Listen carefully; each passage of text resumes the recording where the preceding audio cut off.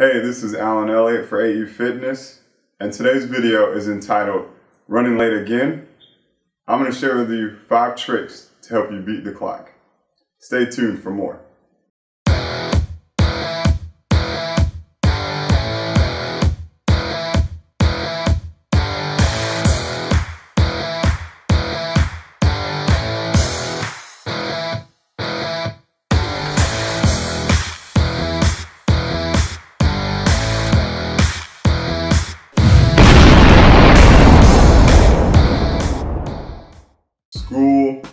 Lunch dates, appointments, meetings. These are all regularly scheduled activities in our life. However, if you find yourself running 5, 10, 15, 20 minutes late, that can be signs of underlying symptoms. So it could be a sign of disorganization or proper planning. So there's things you want to take in mind because in certain cultures, uh, running late or arriving um, uh, late is not acceptable. So not in terms of being fashionably late. We're just talking about routinely being late and having that that can put a strain on relationships. That can also um, put a strain on your job security. You know, if you're not able to arrive on time for work, perform a task, that shows that you may not be as responsible as you were assumed to be at a previous time. So again, we're gonna talk about these five tricks that can help you beat the clock and arrive on time and keep those relationships intact.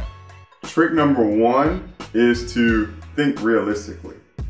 So you may think it only takes 15 minutes to get dressed and head out the door for work, but in actuality, it takes 30 or 45 minutes. So let's not count that one time where you skipped the priorities of breakfast or taking out the trash and you zoomed into work and you made it on time. Let's exercise, uh, let's plan this exercise to help you have an achievable goal of what it realistically takes. So let's set aside some time from when you wake up from the alarm first goes off in the morning to the time that you physically made it to work. And let's track that for a week so we can have a better estimate on the actual time that it may take you to arrive at a task. Let's also account for traffic because what may take you longer at one period of the day may also take you shorter at another period of the day. So let's also take that into account. Trick number two, no more snooze. So hitting the snooze button, getting that extra five to nine minutes of sleep can actually throw your whole day and work schedule off. So rather than hitting that snooze button, let's pick an alarm that's gonna be vibrant and stimulating enough to get you out of bed, even if you have to set it on the other side of the room. Another thing you may want to keep in mind is having multiple snoozes where you know there's a hard cutoff button. But who wants to do math that early in the morning? So let's rely on that first alarm to get us out of bed. Trick number three, plan ahead. You know you have an important meeting at the very beginning of the day or traffic's gonna be tough, let's go ahead and set aside some time to prepare for your day the night prior.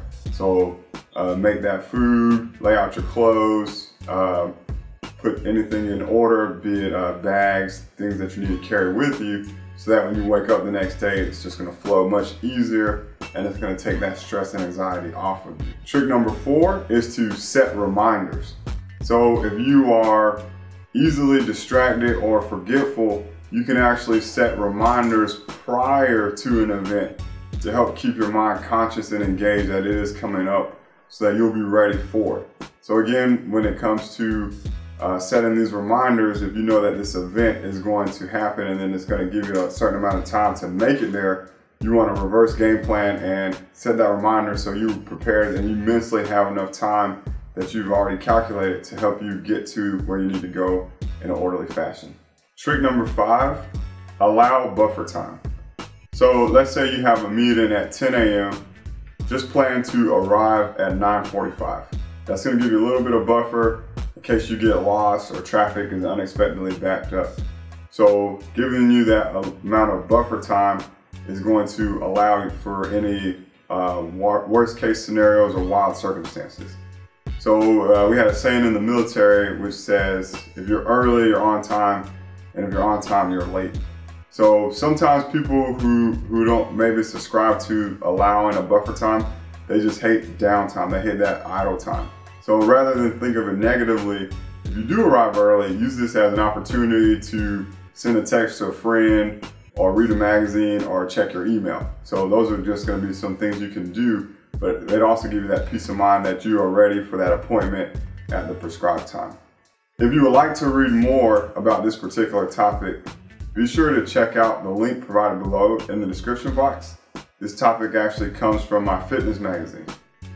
Be sure to also like and subscribe to the AE Fitness YouTube channel. And as always, immerse yourself in the process, take action, and enjoy the journey.